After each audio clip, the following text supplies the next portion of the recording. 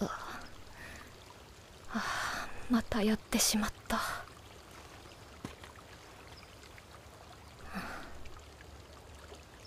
まだ慣れないな。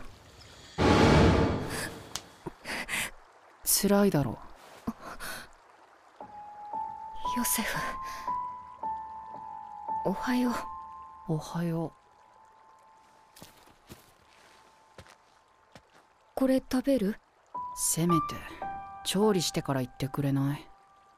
それに僕は何も食べないし排出しないよ。せいぜい水くらいだ。知ってる。だろうね。その目玉を取り出してももうお前は逃げられない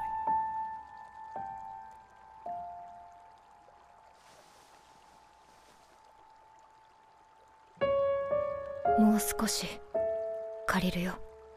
あ。あ腹立ってきたからもう寝る。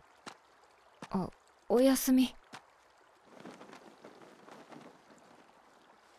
僕はまだあの時のお前の答えを聞いてないからな